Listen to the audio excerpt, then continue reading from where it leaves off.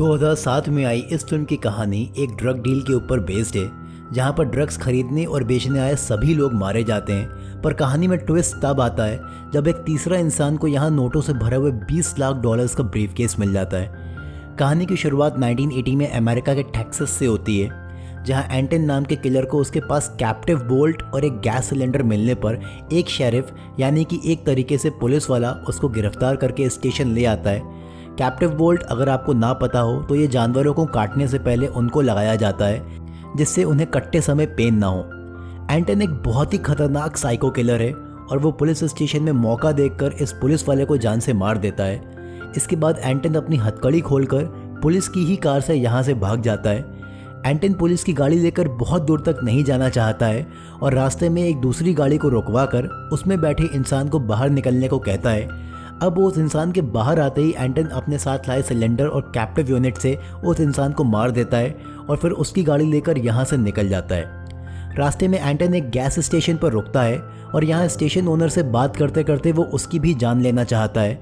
एंटन coin toss करता है और स्टेशन ओनर से पूछता है, स्टेशन ओनर को ये नहीं पता होता है कि ये किस लिए पर फिर भी वो हेड्स बोलता है और हेड्स ही आया होता है। तो एंटन उसको बिना मारे यहाँ से चला जाता है।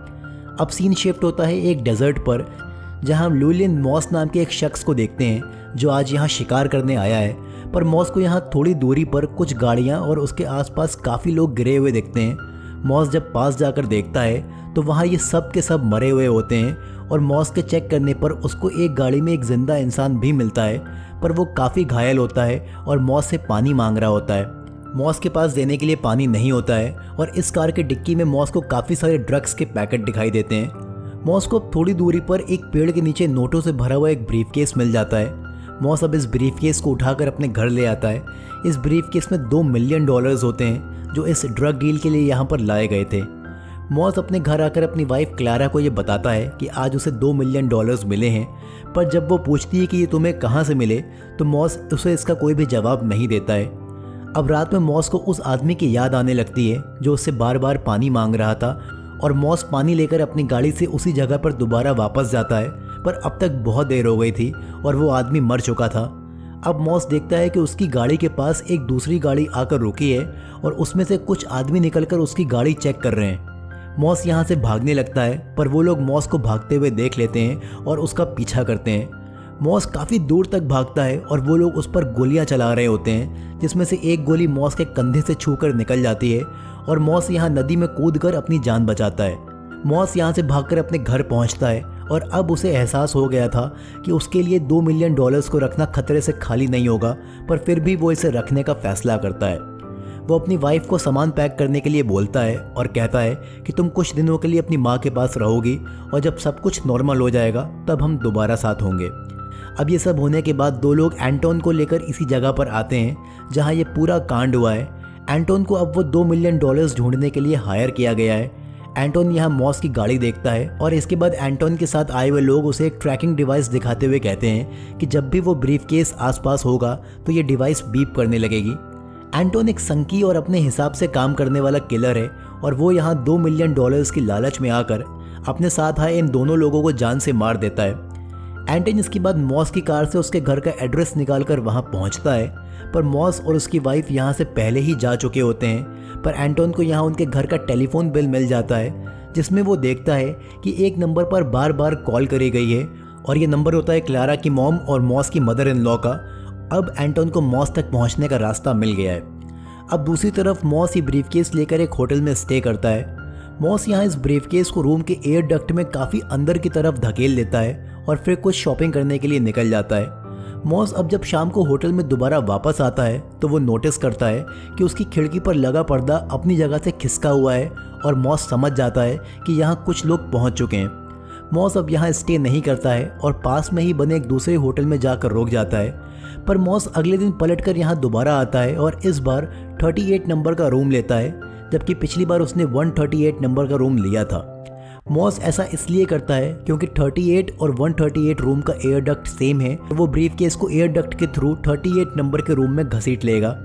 एंटोन भी मॉस की तलाश में होता है और जैसे ही वो होटल के पास से गुजरता है, उसकी ट्रैकिंग डिवाइस बीप करने लग जाती है। एंटोन डिवाइस को फॉलो करते हुए रूम नंबर 138 तक पहुँच जाता है और यहाँ एक दूसरा रूम लेकर स्टे करता है। मॉस अपने रूम में कुछ पाइप्स को मिलाकर एक लंबा डंडा बनाता है, जिससे वो ब्रीफ केस को घसीट सके। और दूसरी तरफ़, एंटोन अपनी शॉटगन लेकर रूम नंबर 138 का लॉक तोड़ देता है। एंटन कभी भी दरवाज़ा नॉक नहीं करता है, बल्कि अपनी शॉटगन से उस पर लगे लॉक को ही निकाल फेंकता है। एंटोन रूम के अंदर जाकर पहले से ब्रीफ केस की तलाश में आए, तीन मैक्सिकन गैंगस्टर्स को जान से मार देता है। एंटोन को ढूँढने पर वो ब्रीफ केस नहीं मिलता है। पर उसका भी दिमाग तेज होता है और वो एयर डक्ट की जाली हटाकर चेक करता है और यहाँ उसे ब्रीफ केस के खिसकाए जाने के निशान मिल जाते हैं। और दूसरी तरफ़ मॉस ये ब्रीफ केस अपने रूम में घसीट कर यहाँ से भागने लगता है। मॉस यहाँ से भागकर एक दूसरे होटल में स्टे करता है और वो सोच में पड़ जाता है कि आखिर उसकी लोकेशन लोगों को कैसे मालूम चल रही है और ये सोच कर वो उस ब्रीफ केस को खोल कर चेक करने लगता है और यहाँ उसको नोटों के बीच में एक ट्रैकिंग डिवाइस दिखती है। और अब मॉस के समझ में आता है कि यहाँ भी कोई ना कोई ज़रूर आने वाला है। दूसरी तरफ़ स्टीफन रूट कार्सन वेल्स नाम के एक हिटमैन को ब्रीफ केस हासिल करने के लिए अपॉइंट करता है, क्योंकि वो दो मिलियन डॉलर्स उसी के होते हैं, और उसने ही एंटोन को भी अपॉइंट किया था, पर अब एंटोन आउट ऑफ़ कंट्रोल हो चुका है और स्टीफन को अपने पैसे वापस चाहिए। मॉस को अपने रूम के बाहर कुछ आहट से सुनाई देती है, और तभी एकदम से उसके दरवाजे का लॉक आकर उसको लगता है, यानी कि एंटोन इज़ हियर मॉस भी यहाँ पर राइफल लेकर बैठा होता है, और एंटोन पर फायरिंग करता है। मॉस इसके बाद रूम की खिड़की से कूद कर यहाँ से भागने लगता है और एंटोन उस पर गोलियाँ चलाता है। यहाँ भागते टाइम एक गोली मॉस के पेट के साइड में लग जाती है और वो बुरी तरह घायल हो जाता है। मॉस यहाँ से जाकर एक गाड़ी के पीछे छुप जाता है, पर एंटोन उसके खून के निशान फॉलो करते हुए वहाँ तक आने लगता है और यहाँ ये दोनों एक दूसरे के ऊपर गोलियाँ चलाते हैं, जिसमें एक गोली एंटोन की टांग में लग जाती है और वो भी यहाँ पर घायल हो जाता है और मॉस इसी का फ़ायदा उठाकर यहाँ से भाग जाता है। मॉस यूएस मैक्सिको बॉर्डर पर पहुँच जाता है, पर वो काफ़ी ज़्यादा ज़ख्मी होता है और उसकी शर्ट पर बहुत ज़्यादा खून होता है और ऐसी कंडीशन में वो ब्रीफ केस को बहुत दूर तक नहीं ले जा सकता है। तो वो ब्रीफ केस को फेंस से नीचे झाड़ियों में फेंक देता है और रास्ते में मिले लड़कों से जैकेट और बियर लेकर बियर पीते हुए बॉर्डर क्रॉस करता है ताकि पुलिस वाले को उस पर शक ना हो। मॉस मैक्सिको के अंदर पहुँच जाता है और उसकी कंडीशन देखकर लोग उसको हॉस्पिटल में एडमिट करा देते हैं। दूसरी तरफ़ एंटोन किसी हॉस्पिटल में नहीं जाता है, बल्कि एक ड्रग स्टोर से दवाइयाँ और इंजेक्शन चुरा कर खुद ही दर्द सहते हुए वो गोली अपनी टांग में से बाहर निकालता है और अपने आप को इंजेक्शन लगाता है। मॉस हॉस्पिटल में एडमिट होता है और यहाँ कार्सन आकर उससे मुलाकात करता है। कार्सन मॉस से कहता है कि अगर वो अपनी जान की सलामती चाहता है तो वो पैसे उसे वापस कर दे, क्योंकि एंटोन पहले से ही उसके पीछे लगा हुआ है और ऐसे में वो बहुत देर तक नहीं बच सकता है। मॉस उससे कहता है कि उसने सारे पैसे खर्चा कर दिए हैं और वो एंटोन को अपने हिसाब से देख लेगा। कार्सन यहाँ मॉस को वॉर्न करता है कि एंटोन तुम्हारी पत्नी तक भी पहुँच सकता है और ये बात मॉस को खटक जाती है। कार्सन उसे अपने होटल के एड्रेस देता है और यहाँ से चला जाता है। दूसरी तरफ़ एक senior police officer Tom Bell इस केस को इन्वेस्टिगेट करते हुए क्लारा तक पहुँच जाता है और मॉस का पता पूछता है। बेल यहाँ पर क्लारा को एंटोन और ड्रग डीलर्स के बारे में भी बताता है कि वो किस तरह मॉस की जान के पीछे पड़े हुए हैं, पर क्लारा को मॉस कहाँ पर है, इसका कोई भी क्लू नहीं होता है। बेल उसको अपना नंबर देता है और कहता है कि, मॉस, और तुम काफ़ी खतरे में हो। तुम्हें जैसे ही मॉस का पता लगे, मुझे बता देना। मैं तुम दोनों को कुछ नहीं होने दूँगा। ये मेरा प्रॉमिस है. एंटोन को कार्सन के बारे में मालूम चल जाता है और वो कार्सन के होटल रूम में जाकर उसको जान से मार देता है। कार्सन को मारते ही वहाँ उसके टेलीफोन में मॉस की कॉल आती है। एंटोन मॉस का वो फ़ोन उठाता है और उसे बता देता है कि उसने कार्सन को जान से मार दिया है। एंटोन उसे पैसे देने के लिए कहता है, पर मॉस मना कर देता है। एंटोन उससे कहता है कि अगर तुम मुझे पैसे नहीं दोगे तो मैं तुम्हारी पत्नी को जान से मार दूँगा। और इस बात पर भी मॉस पैसे देने को तैयार नहीं होता है। और यहाँ एंटोन अब क्लारा को मारने का मूड बना लेता है। एंटोन की कॉल से मॉस की फट गई होती है, और इसके अगले ही दिन वो क्लारा को फ़ोन लगाकर अपने होटल के एड्रेस देता है और मिलने के लिए बुलाता है। मॉस भी इस टाइम तक चिल होता है, क्योंकि उसने वो ट्रैकिंग डिवाइस हटा दी होती है, और अब उसे कोई भी फॉलो नहीं कर सकता है। पर दो मिलियन डॉलर्स के लिए कोई कुछ भी कर सकता है। क्लारा को यहाँ कुछ गड़बड़ी लगती है और वो बेल को फ़ोन लगाकर मॉस की लोकेशन बता देती है। बेल उसे इंश्योर करता है कि वो मॉस को कुछ नहीं होने देगा।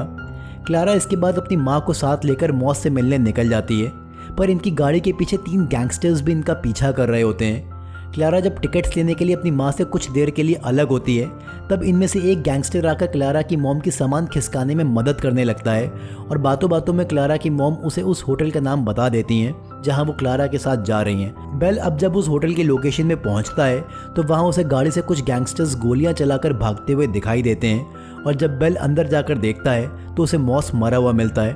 और इसके थोड़ी देर बाद ही यहाँ पर क्लारा भी अपनी मॉम के साथ पहुँच जाती है, और बेल उसके सामने काफ़ी शर्मिंदा होता है, क्योंकि वो मॉस को नहीं बचा पाया है।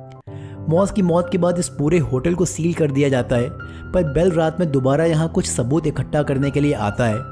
बेल यहाँ पर नोटिस करता है कि कमरे का लॉक उसी तरह से तोड़ा गया है, जैसे उसको बाकी लोकेशंस में टूटा हुआ मिला है, और उसे लगता है कि एंटोन कमरे के अंदर ही है।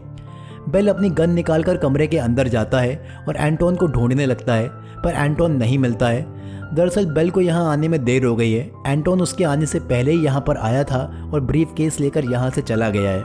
यहाँ बेल अपने आप से काफ़ी निराश होता है क्योंकि वो आजकल के इन क्रिमिनल्स को नहीं समझ पा रहा है और उसे लगता है कि वो इन शातिर अपराधियों की तरह तेज़ नहीं है।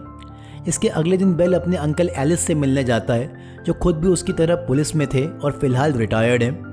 बेल उनसे आजकल बढ़ते क्राइम्स पर बात करता है और कहता है कि दुनिया काफ़ी बदल चुकी है, लोग अब पहले जैसे नहीं रहे हैं। वो कहता है कि जब मैं छोटा था, तब ना ही इतना ड्रग्स का कारोबार था और ना ही इतना खून खराबा था, पर आज ज़माना काफ़ी बदल चुका है और इसलिए अब मैं रिटायरमेंट ले रहा हूँ। उसके अंकल उसे समझाते हैं कि जैसा तुम सोच रहे हो, ऐसा कुछ नहीं है। ये तुम्हारी सिर्फ़ सोच है, क्योंकि तुम एक अच्छे इंसान हो और अपने हिसाब से सोच रहे हो। पर क्रिमिनल्स हमेशा से ऐसे ही रहे हैं और तुम्हारे रिटायरमेंट लेने या ना लेने से उन पर कोई फ़र्क नहीं पड़ेगा। अब इसके कुछ टाइम बाद क्लारा की मॉम खत्म हो जाती हैं और क्लारा जब उनके फिनरल के बाद घर आती है तो वहाँ एंटन को बैठा हुआ देखती है। क्लारा समझ जाती है कि अब उसकी जान खतरे में है। क्लारा उससे कहती है कि उसके पास पैसे नहीं हैं और उसकी जान लेने से कोई भी फ़ायदा नहीं होगा। एंटोन कहता है कि मुझे पता है कि तुम्हारे पास पैसे नहीं हैं, पर आज तुम्हारे साथ जो हो रहा है, वो तुम्हारे पति की वजह से हो रहा है। मैंने तुम्हारे पति को तुम्हारा नाम लेकर भी धमकाया था, पर वो फिर भी नहीं माना और उसने ऐसा ना करके तुम्हारे लिए मौत का रास्ता चुना था। एंटोन यहाँ कॉइन टॉस करता है और क्लारा से हेड्स या टेल्स पूछता है। क्लारा इसका जवाब देने से मना कर देती है। इसके बाद एंटोन घर के बाहर आता है और अपने जूते चेक करता है कि कहीं उसमें खून तो नहीं लगा हुआ है, यानी कि उसने क्लारा को जान से मार दिया है।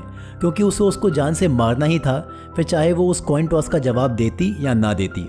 एंटोन वाकई एक क्रूअल और एक संकी किस्म का कातिल है और वो अपने तरीके और अपने उसूलों के हिसाब से ही काम करता है। और बेल के अंकल ने उससे सही कहा था कि उसके रिटायरमेंट लेने या ना लेने से क्रिमिनल्स पर कोई फ़र्क नहीं पड़ेगा और वो जैसे हैं, वैसे ही रहेंगे। एंटोन क्लारा को मारने के बाद अपनी गाड़ी से यहाँ से जाने लगता है और अपने पीछे दो बच्चों को साइकिल चलाते हुए देखता है। यहाँ उसका ध्यान भटक जाता है, जिससे उसकी कार का काफ़ी बुरा एक्सीडेंट होता है। इस एक्सीडेंट में एंटोन को काफ़ी चोट आती है और उसके बायां हाथ इतनी बुरी तरह टूटता है कि एल्बो के पास से उसकी हड्डी तक बाहर दिखने लगती है। वो दोनों बच्चे एंटोन की मदद करने के लिए उसके पास आते हैं और एंटोन उसमें से एक बच्चे की शर्ट लेकर उसका फंदा बनाता है और उसे पैसे देता है। बच्चा यहाँ पैसे लेने से मना कर देता है, पर एंटोन उसे पैसे दे देता है। एंटोन अपने टूटे हुए हाथ को उस शर्ट के फंदे में लटका लेता है और यहाँ से जाने लगता है और उन बच्चों से कहता है कि मेरे बारे में कोई भी कुछ पूछे तो बताने की ज़रूरत नहीं है। बच्चे इसके लिए मान जाते हैं क्योंकि एंटोन ने उनको काफ़ी ज़्यादा डॉलर्स दे दिए हैं। एंटोन ने ऐसा इसलिए भी किया होता है क्योंकि इन बच्चों ने उसे क्लारा के घर के बाहर आते हुए भी देखा था। इसके बाद हम बेल को देखते हैं, जो कि अब रिटायरमेंट ले चुका है और अपनी वाइफ को अपने दो सपनों के बारे में बताता है। इस सपने में बेल ने अपने पिता के दिए हुए पैसों को खो दिया है और दूसरे सपने में बेल अपने पिता के साथ एक माउंटेन पर होता है, जहाँ चारों तरफ़ अंधेरा ही अंधेरा होता है, लेकिन उसके पिता आगे जाकर आग जलाते हैं और उसे अपने पास बुलाते हैं। यहाँ बेल ने अपने पहले सपने को क्लारा से कनेक्ट करके बताया होता है कि उसने क्लारा को प्रॉमिस किया था कि वो मॉस को कुछ नहीं होने देगा, पर वो उसे नहीं बचा पाया। और अपने दूसरे सपने को वो एक उम्मीद से कनेक्ट करके बताता है, जो उसके पिता ने उसको दी थी, पर वो ये उम्मीद कातिलों को पकड़कर दूसरों को नहीं दे पाया और इसलिए उसने अपने टाइम से पहले ही रिटायरमेंट ले लिया है। इस फ़िल्म का नाम No Country for Old Man इसलिए पड़ा है क्योंकि ओल्ड एज में लोगों को किसी भी चीज़ का कोई ऑब्सेशन नहीं रहता है और यंग एज पूरे ऑब्सेशन से भरी रहती है। बेल को आजकल के क्रिमिनल्स को समझने में दिक्कत होती है। बेल इस मूवी में लोगों के दूसरों के प्रति बदलते नज़रियों से परेशान था और उसे हमेशा लगता था कि दुनिया टाइम के साथ क्रूएल होती जा रही है और इंसान अब पहले जैसे नहीं रह गए हैं। वीडियो पसंद आया हो तो आप वीडियो को लाइक करिए चैनल को सब्सक्राइब करिए। फिर मिलता हूँ आपसे एक ज़बरदस्त कहानी के साथ। तब तक के लिए अपना ख्याल रखिए। Good bye